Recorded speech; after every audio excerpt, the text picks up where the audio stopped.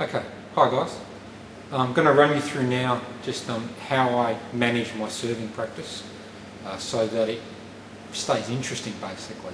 Uh, a lot of the time uh, coaches or people giving you advice will give you the advice of grab a bucket of balls and serve and do half an hour of serving practice. And I have been guilty in the past of sort of saying that myself. It's a quick and easy way of just sort of saying, look, do a lot of serves and your serve will improve and therefore your game will improve. Uh, but half an hour with a bucket of balls can be mind-numbingly boring. So what I'm going to do just right now is show you a way that I use to still get serving practice, but firstly make it a bit more interesting, and secondly to get good consistent feedback about whether you're improving your serve or not.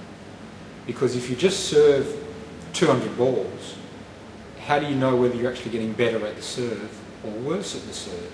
You know, from week to week. Is what you're doing improving or, or not? What I'm going to show you is just a technique I use that allows me firstly to make things interesting, secondly to get feedback there on the day about how I'm serving, and also to get feedback over time about whether your serve's improving from week to week. Okay, so I'm going to run you through that um, here and now. Later on I'm going to talk a, little bit more um, about what serves to go with your game and all that sort of stuff. So I will get to that. But here and now, it's just this is just really the mechanics of my particular service um, game or technique that I use. To help me do it, what I use here is these empty um, boxes, ball boxes really, um, to aim at. Uh, the reason why these make good targets is firstly, they're about the right size. Um, so when you put, on the table, put them on the table, they, they're a good target. Secondly, because they're not super light, um, if you hit them, they don't tend to just fly straight off the table. So they do tend to stay in position, which is good as well. Um, thirdly, because they are cardboard, when you hit them, it's fairly obvious that you've hit them. So it makes it easier to actually see um, that you have hit. Um, and also, because we all buy boxes of balls, you usually have tons of these things lying around. So it's quite easy. I mean, you can use them to transport some of your balls. Where I put them is typically, if I just get out of the way for a second, uh, typically I like to put them each corner, uh, just a little bit in from the white line, basically in those corners, and the middle one I like to put in a position roughly either here, just on, the, on one side of the centre line, to mimic the playing elbow of a right-hander, and occasionally I'll put it on the other side to mimic the playing elbow of a left-hander. So roughly just gives me three good targets to um, aim at. So those are my targets. Now, how this works, I'll just go up the other end. Rather than serving 200 balls and boring yourself to death, I like to work with, say, 10 balls at a time. And this is how I do it to allow me to check what's going on. When I'm serving, I take my time with each ball. So I don't hold two at once, I hold one, which slows me down. Secondly, the way I work this is if I serve, a, if I serve it for a, a double bounce serve, that is, so it bounces twice. If I do double bounce the serve, that's one point. I get one point. If I double bounce it and the second bounce hits one of my targets, that's two points. If I serve it and it bounces once and goes off the end of the table, okay, that's minus two because I, I don't want to do that. And if I serve a fault, that's minus four points. So the idea is, is in, with my 10 serve to score as many points as I can. And I haven't been doing this at all, so, but I'll give you the idea. Now what, what this does is basically allow you from week to week, or just even during your half hour session or 15 minute session of serving, it'll give you an idea of roughly where you are, um, how many points you averagely, on average, score. Week by week you can try and score more points. If you find that your serves, you're scoring less points, you know you need to do more service practice. So what I do is I've got my 10 balls, I'm going to try and double bounce the serve. Now I work with one serve at a time in the beginning of the season to get some consistency. So this is just going to be a basic forehand pendulum backspin side spin serve. Okay. Later on, when I'm further on in the season, I'll mix in the serves and do several at once. But to begin with, because it's so early in the season, I'm just getting some basic practice. It'll be the same serve.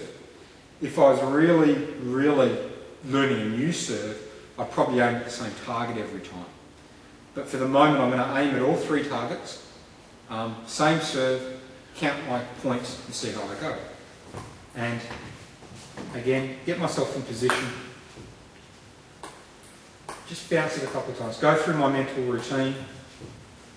Okay, that's a left. You can just count it or not count it. I've only got 10 balls, so that counts as a double, double bounce, so two points. Alright, three. One point and one point, so two points, two, two points out of two serves. Fault, back to minus two now. Oh, and done my serve.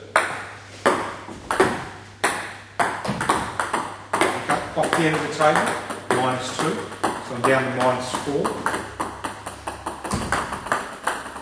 Okay, double bounced it, to minus three.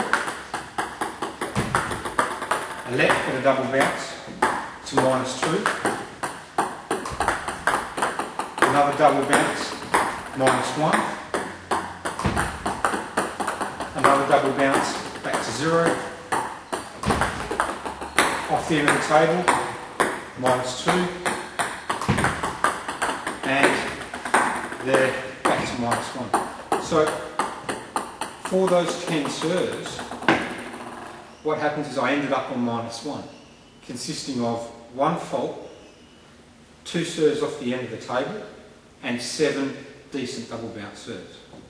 But what it gives me is that, it, firstly, this kind of system, it highlights the importance of, firstly, not serving a fault, because of the minus four, serving off the end of the table, giving your opponent an easy attack, minus two, so that emphasises that you don't want to do those, and it rewards double bounce serves and hitting the target. And I try and work my way up. Now, what's a good target to aim for? With 10 serves, you should hopefully be trying to get somewhere hitting the target at least three or four times to get six points.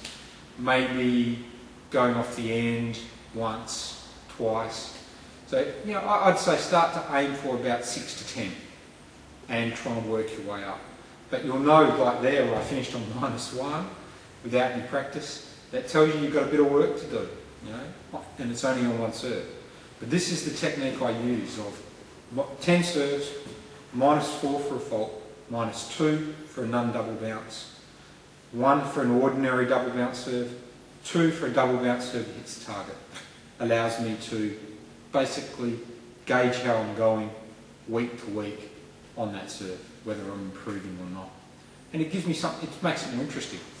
Now for fast, long serves, if you're practicing your long serve, okay, what I would suggest is again, um, one point for a good long serve close to the targets, two points if you hit them. You obviously do want them to go deep, so you're not going to double bounce the serve. So I'd, I'd probably say in that case, take off minus two if you don't get it deep. You know, give yourself a little cut off. And if you don't serve, or put a towel on the table so that your towel cuts it off, like so. So if you're trying to practice a long serve, spread your towel out so that if you hit the towel, minus two. And that an easy way. Of course then you can't practice long serves and short serves together, but it's a good start.